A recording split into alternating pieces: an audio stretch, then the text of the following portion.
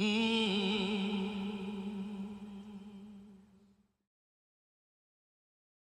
Mount Zion African Methodist Episcopal Church is located on Garwin Road, formerly Hendrickson Mill Road, in Small Gloucester, New Jersey.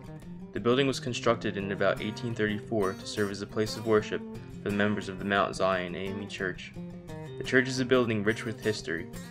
It played a major role in the development of the African American community in the area, not only did the church serve as a place of worship and a social center for the African Americans in the area, it was also part of the Underground Railroad, where runaway slaves could take refuge and avoid the slave catchers.